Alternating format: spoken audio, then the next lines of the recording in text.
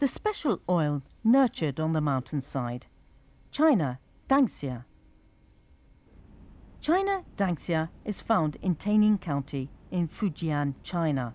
There are six major Danxia areas in China, but this is one of the largest.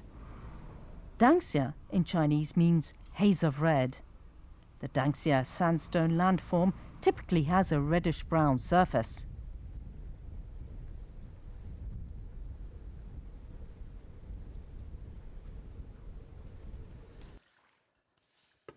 This is the Nine Dragons Pool, one of the unique Danxia landforms.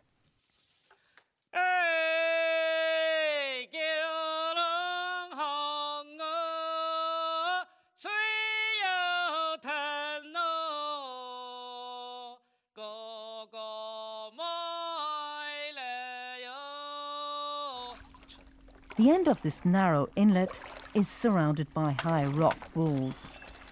This secluded place is believed to be where female hermits used to bathe. The Danxia region has a multitude of steep peaks, forcing people to live on the few available small patches of flat land. This is Laohuji village. Houses cling precariously to the steep hillsides. The villagers' lifestyle has not changed a great deal over the past 600 years. They are mostly self sufficient. They grow their own crops and vegetables in their small farming area. Tea oil is regarded as the king of oil in China, as it contains nutritional ingredients such as oleic acid. It is also believed to have been used as a beauty product by Empress Gui Fei, a legendary Chinese beauty. Tea oil is the most important source of income for the villagers.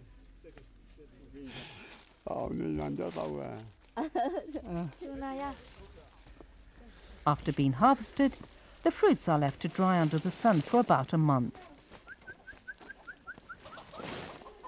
When the skins have split naturally, the pits are taken out to be squeezed to produce tea oil.